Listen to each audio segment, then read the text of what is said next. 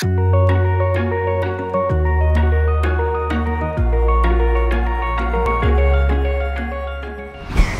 I'm Glenn Stevens from McGrath Bayside and I'd like to welcome you to view 35 Cleveland Terrace in Ormiston. But first, I have something I need to show you. One of the most commanding views in the Redlands. Only four homes share this particular ridge position and with views like these, they are tightly held. The original portion of this home was built on the banana farm which covered this area before it was developed and it undoubtedly was placed in this position on purpose as being the best spot to take in the views. Extended by an engineer in the 1980s using a steel beam construction, it was elongated out over the ridge to take in more of the aspect.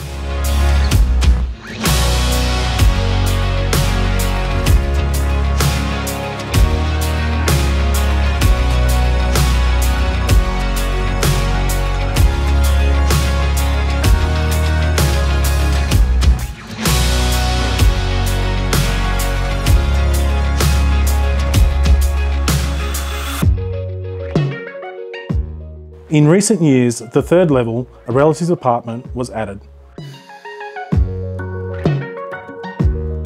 Depending on your needs, there would be an excellent opportunity here as an Airbnb or for the savvy renovator to use the existing engineered structure and reconfigure or extend to their own taste to take advantage of this stunning location.